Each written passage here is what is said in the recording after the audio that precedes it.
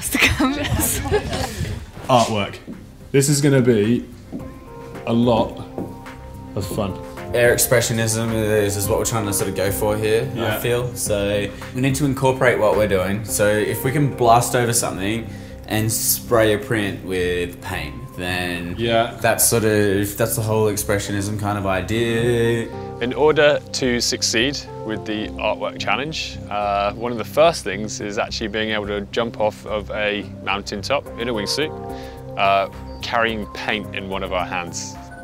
They need to be so current and so skilled in their flying that being just meters above the ground is something they're comfortable about.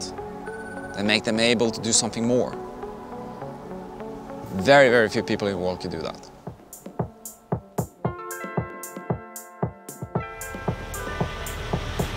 Yeah, yeah, yeah, she's here. Awesome. Where is she?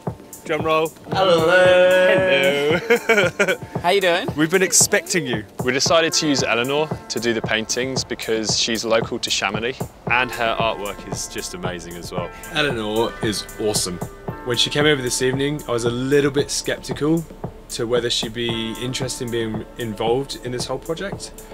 But seeing her face glow up and her eyes sort of go into depth with everything, like, she's fully on board. We've got some super colourful paint with us. We've got a canvas. We're going to cut some laps through the garden, blast the paint over the top of it. We'll try out a few different angles, a few different hole sizes for the bottles themselves, and come up with a bit of a theory on how we want to run it when we actually fly our wingsuits down the mountain and start blasting the artwork. Oh my god! Oh my god! Oh my god! Oh Are you Oh my serious? god! You met. no, like good? seriously, they look amazing.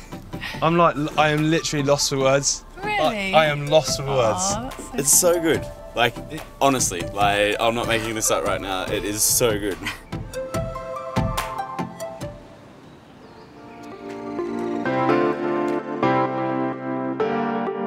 In the morning, I had two thoughts in my head.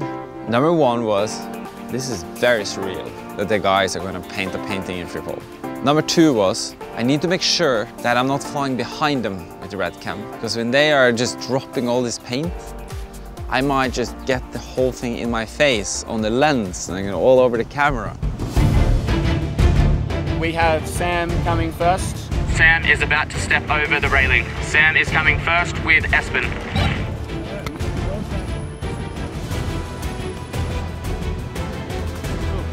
Have a good one, buddy. Have a good one, buddy. You too. All right, rock and roll time. Are you ready, Espen? I'm ready.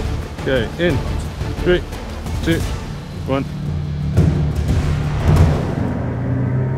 After 10 meters, you have a big slab you have to jump over. After just 170 meters, there's a couloir. If you haven't flown yet, you hit that couloir.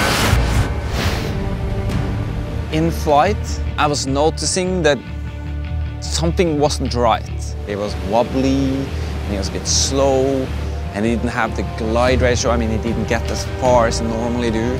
Because we were holding the paint in our left hand, we didn't actually have full control over the wingsuit itself. So actually on the transportation, it was really, really difficult to be able to maintain a very high glide ratio to be able to get to where we needed to get to to drop the paint off.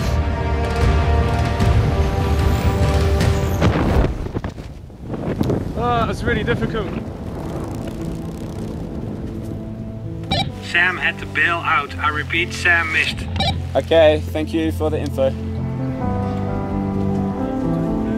Uh, this is Nate, the Refuge Paint Team. Uh, I am ready. And three, one. See ya.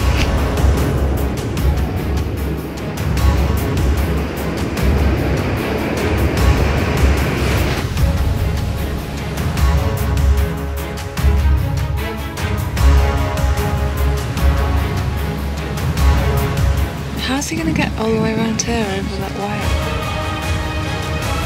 So fast.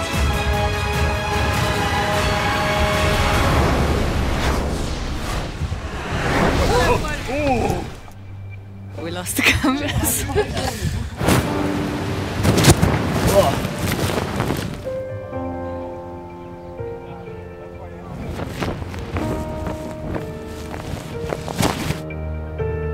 Do you think you painted anything? I have no idea. I've got paint on my wingsuit, I've got paint on my hands. I did fly across where I felt was possibility of getting paint on them. Yeah.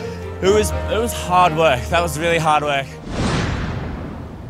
Immediately after we landed, Nate and me packed straight up. We got on the gondola and we wanted to get to the top of the mountain in order to try and make this happen again. Um, and as soon as we got up there, the weather just socked in and it became really, really bad. Base jumping is a very, very sensitive weather dependent sport and it's sort of what we have to take along with that is that sometimes you can jump and sometimes you can't jump.